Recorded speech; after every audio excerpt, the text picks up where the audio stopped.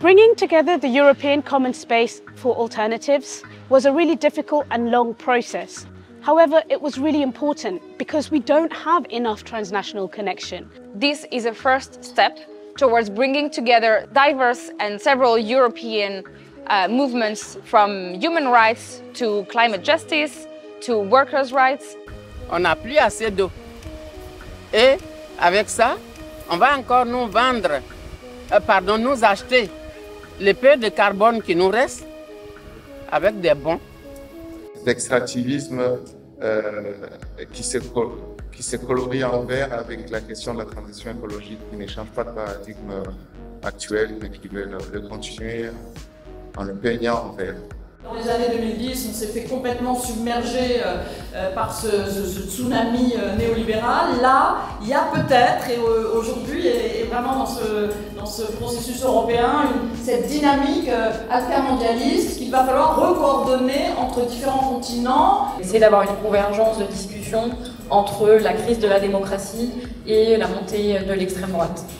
Aiming to make life in the UK basically unlivable for irregular migrants. So it criminalises work without legal status. Whether someone likes your headscarf or doesn't like your headscarf or whatever you're wearing, this is not what this is about. This is state sanctioned Islamophobia and misogyny, which is, excuse the pun, being used as a veil, okay, to attack all our civil liberties and to dehumanize huge numbers of people. We still live in a Europe that accepts the incitement of genocide, that is complicit in genocide, and only time will demonstrate the very obvious truth behind the words of which I speak now. The amount of people they managed to gather and the diversity of the groups was really, really impressive. And I was particularly uh, satisfied by the, the intention that the team had to always create a space for disagreement and to find the disagreements so that way we can know what we need to work on. This is something that is not so usual. And the goal is to improve our combined efforts. So when we think the future of EXA, we have really to be responsible to ourselves and to the people we want to convince.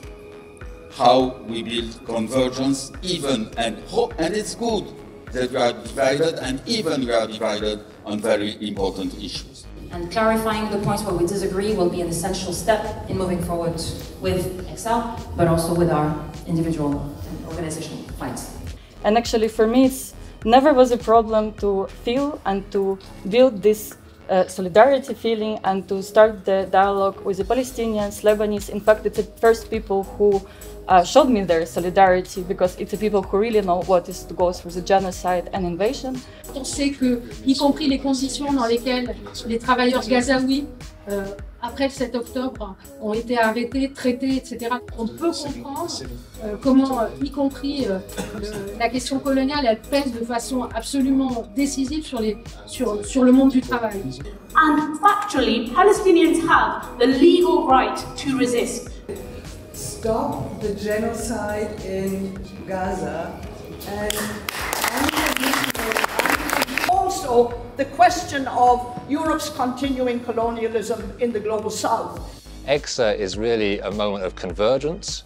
Um, it's also a moment to look back at uh, the successes and failures of our movements over the past uh, decade or so and construct a more powerful convergence uh, to change the future. I was really excited to meet so many brilliant friends and other activists and people who aren't involved in politics around Europe.